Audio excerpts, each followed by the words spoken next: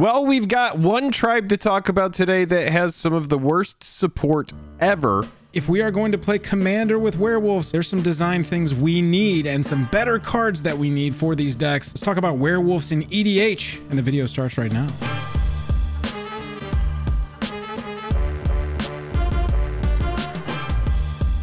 Special thanks to our Patreon supporters who power our channel. Check out our Patreon for monthly giveaways, exclusive content, and even a starring role in our fan fight series. Link in the description below. Hello and welcome to the day. Thank you for spending your time with us. I'm Jake. I'm Joel. Welcome back to another episode of Jake and Joel are Magic. We are going to get into werewolves. This is not a short Jake. This is a full length video about the werewolf tribe in EDH and we've got a lot to talk about. But before we get into it, if you would, if you like the video by the end of it, hit that like button. And if you don't, hit the dislike button. It's the best way to support the channel with just the click of a button. If you want to get involved on a deeper level, head on over to Patreon, get involved in some giveaways, Discord access, name in all the videos. We send you some signed cards. There are like over 40 werewolves not all of them are playable. The werewolf mechanic, the bulk of them, it's just easy to transform them back, so the tribe really doesn't work well in EDH. Let's go ahead and talk about it. So, Jake, you hit the nail on the head. The very biggest thing for me with werewolves in Commander, playing this tribe in Commander, is that the base level mechanic kind of sucks.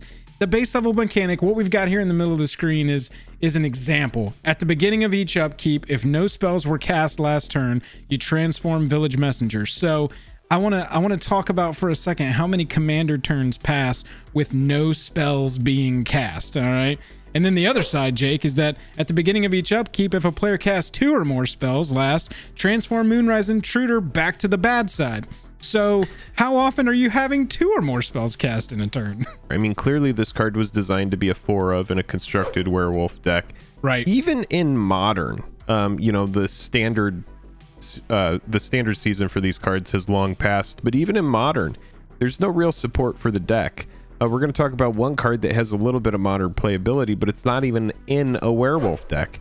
Uh, yeah, it really just it's it's too difficult to flip them you need to be able to flip them. There's some cards that do that, but then, you know, it's very, very easy to flip them back. And even when they're flipped, they're still a little bit lackluster.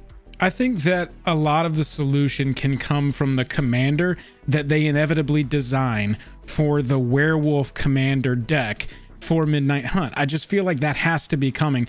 And Jake found the closest thing that we've possibly got here which is an existing creature called the Immerwolf. That very bottom text non human werewolves you control can't transform. That is huge. That if that was a commander ability, if legendary, if Immerwolf was a legendary creature, I mean, it's not only an anthem, but it's got really like the fix to the entire problem of the design for commander as a format.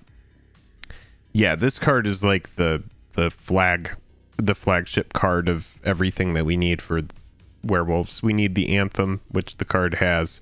Intimidate is nice, but you know, we don't really care about that. But really, once they're transformed, they need to stay transformed. The bulk of these werewolves get better. Power and toughness improves on the transformation. Some of them gain different abilities. You you'll have some that gain like double strike and stuff Menace, like that. First strike, yeah. Yeah, when they flip, they're in a really really good good spot to be formidable you know, I don't think it's going to be a top tier deck in EDH, but I think it can go from nothing to at least casual and fun. Yeah. Yeah, 100%. Another big thing that we could really use in this design space has already sort of been hinted at when we were back in this realm, in this plane, when the Eldrazi were attacking Jake.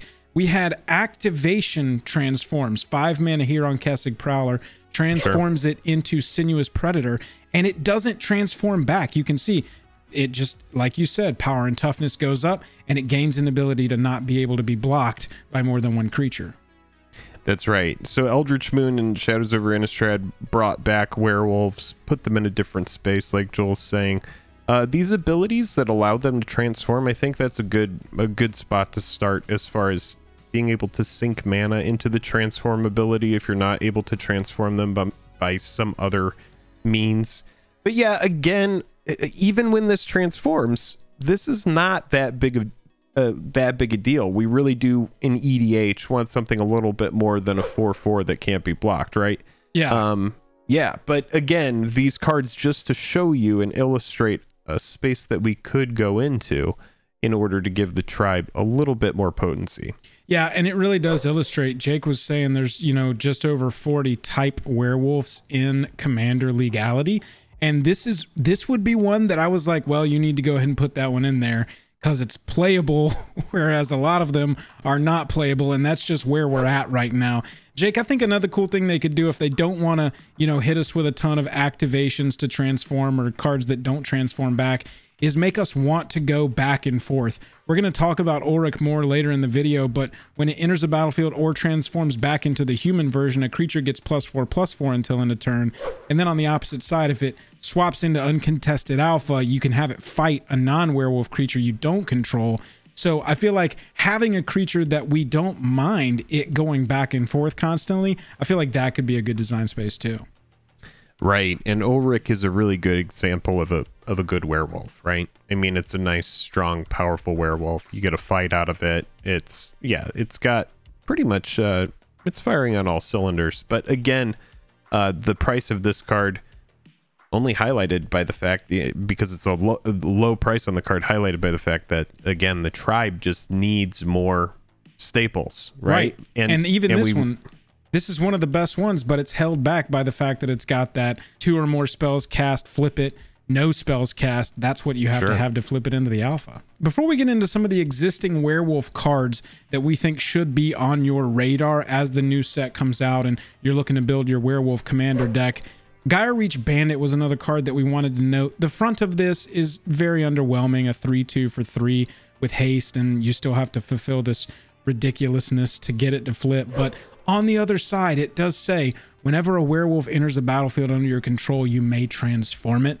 I feel like that, Jake, combined with the Wolf's ability of not being able to transform, or maybe like just a one, you know, cost activated ability that says transform, target werewolf, or whatever.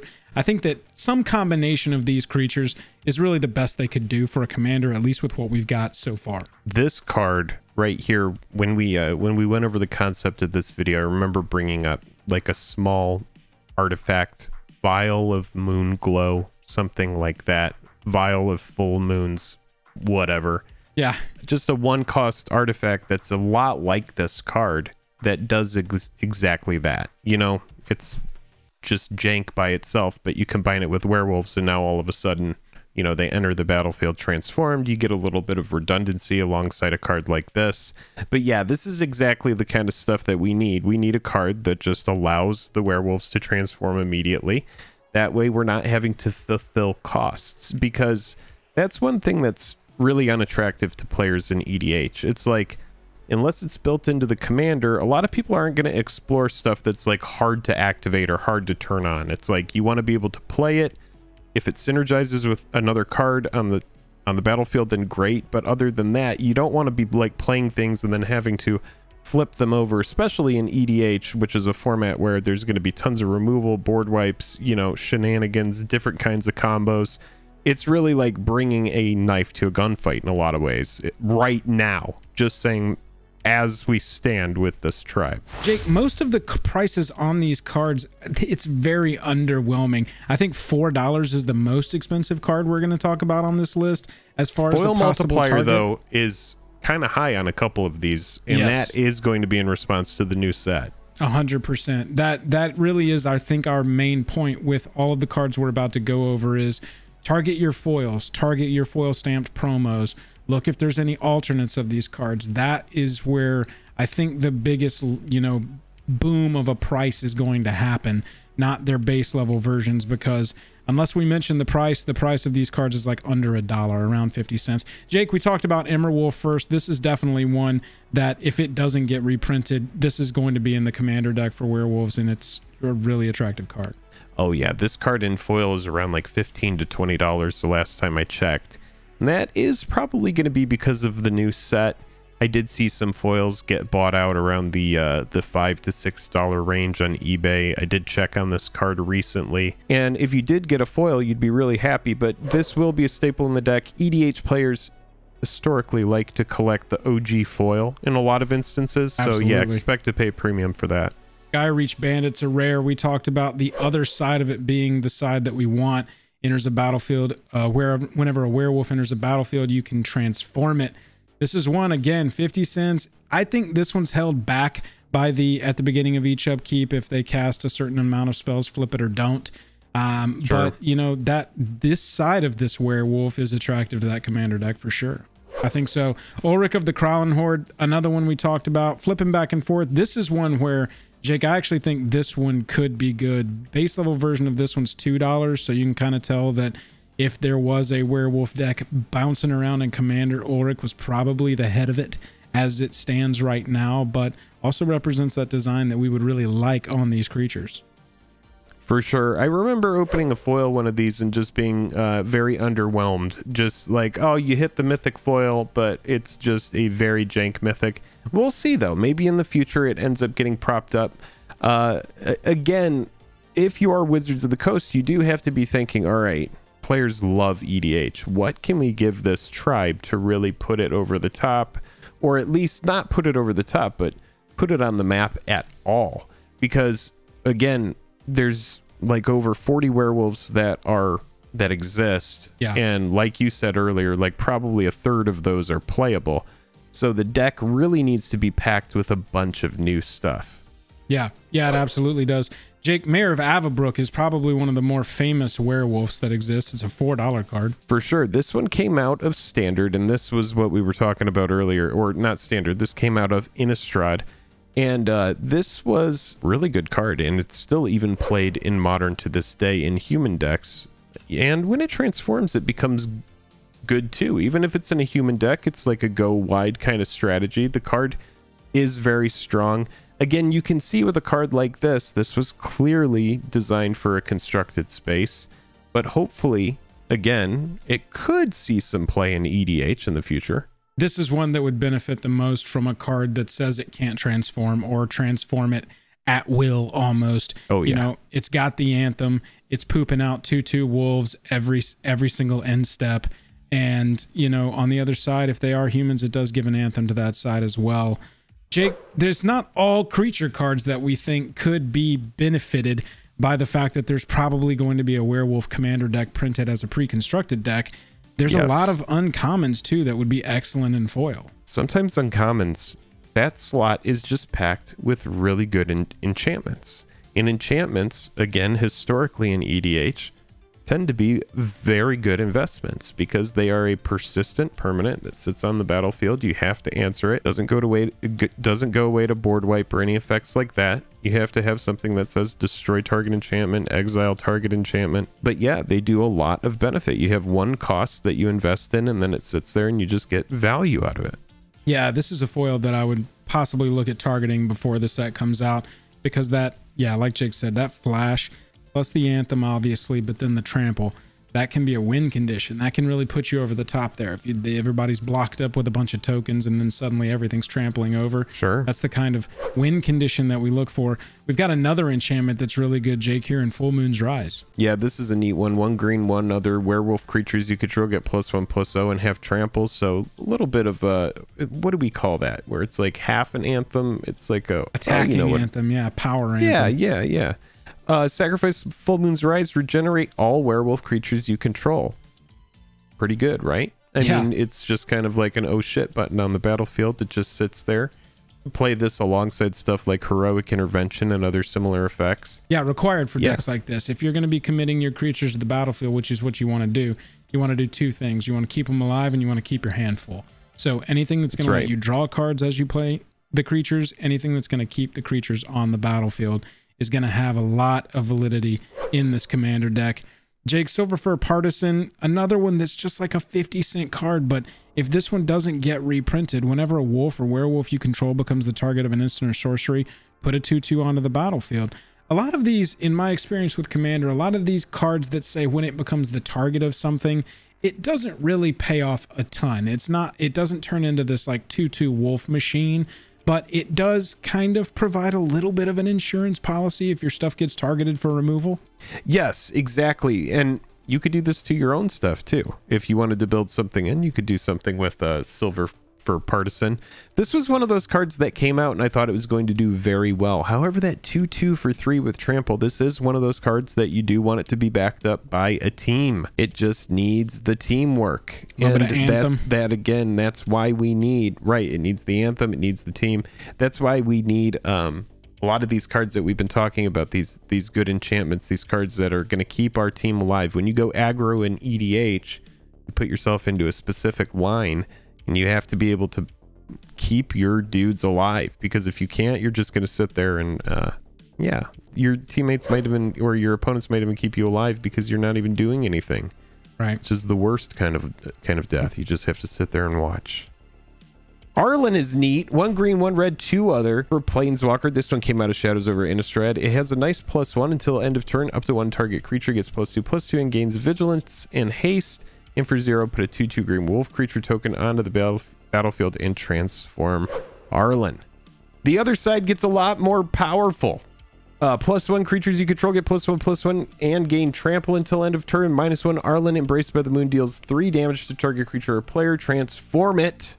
And then the minus six, you get an emblem with creatures you control have haste and tap. This creature deals damage equal to its power to target creature or player. This is a $4 card. It's the other expensive card on our list today. We've got Mayor of Avabruck at 4 bucks and Arlinn Kord at 4 bucks. This is a Planeswalker I want in the Planeswalker deck. So if it doesn't get reprinted straight into that deck, which is uh, somewhat likely, I don't know, very likely, I don't think so, but possible. I think that this one could raise in price, especially the four of it. We've got a, a different version of the famous werewolf planeswalker with Arlinn, her minus two. She makes two twos, and each creature you control that's a wolf or a werewolf enters the battlefield with a plus one plus one counter on it via her passive ability as a planeswalker. I think that this one, again, this is under a dollar, but I think that this one in foil really could make a huge impact. I mean, that one does a lot, right? Because you're going to get three wolves out of it, and then it's going to have one loyalty left over that gives you essentially like that enchantment type of uh, ability that's just Yeah. going to give stuff counters. You combine that with stuff like, uh, you know, we say this a lot, but doubling season and anything that's going to double counters, anything like that, and this becomes even better. This card all around with like parallel lives, doubling season. The tokens are going to go crazy. The counters are going to go crazy. It's very, very strong card at uncommon. Yeah, absolutely. It would be great in the deck. Ulrich's Kindred, Ulrich Kindred is an uncommon wolf. And we really don't care about anything except for treating this like a creature enchantment that says pay a green and three other, an attacking wolf or werewolf gains indestructible until end of turn, right? Yeah, pretty big deal here. Obviously, it gets better um, as a mana sink later on in the game. But yeah, this is one of those cards that's just, uh, yeah, pretty pretty chill, uncommon unless it's in limited. Like in limited, that is a Ugh. card that you absolutely do not want to deal with ever. Brutal. Sage of Ancient Lore. This is another one of those cards that when it came out, I thought it was going to take off, but really, again, no real werewolf uh, synergy that standard season. That that just wasn't part of this. One green, four other. Uh, Sage of Ancient Lord's power and toughness are each equal to the number of cards in your hand. When at ETBs, draw a card at the beginning of each upkeep. If no spells were cast last turn, transform Sage. Uh, yeah, and then it becomes Vigi Trample. Uh, power and toughness equal to the total number of cards in all players' hands, so it gets a lot better in EDH there. At the beginning of each upkeep, if a player costs two or player casts two or more spells, last turn transform The bad ability. the reason the that these ability. are all terrible. Right. I mean that that really is where it is. There's not a lot of them, but those are some of the werewolves that we think should be on your radar as we go into this new werewolf standard set that will most likely be delivering commander precons, and that's kind of the angle we're coming at from this. Let us know what werewolves we missed. Do you think that werewolves are ever going to have the support to be an EDH deck? Do you think that the deck coming out will be good? You know, I, I I'm excited to see it. There are uh there's pretty much nowhere you could go but up from here. Yeah. Honestly. For real. I mean, it is it is maybe the the worst tribe that you could if you were forced to squeeze an EDH deck out of.